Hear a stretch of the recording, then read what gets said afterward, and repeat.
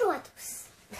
Quand Moïse est sorti du palais de, de il y avait deux juifs qui s'appelaient Dathan et Aviram.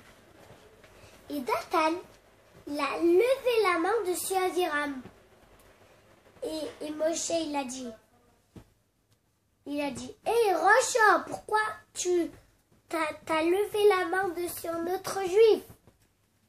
La question est la suivante pourquoi on n'a pas le droit de lever la main dessus un, un autre juif?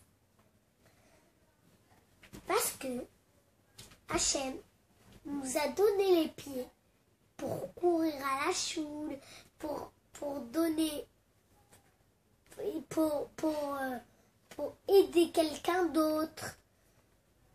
Et il nous a donné les mains pour mettre la tzedaka, pour, pour, pour euh, prêter un stylo à quelqu'un d'autre, pour allumer les bougies de Shabbat, pour mettre les tuiles, pour prêter pour donner un goûter à quelqu'un d'autre, pour, pour partager le goûter.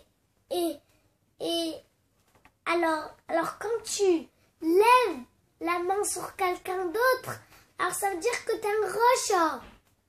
Et, et l'enseignement pour nous, c'est que, que c'est sûr qu'il ne faut pas frapper.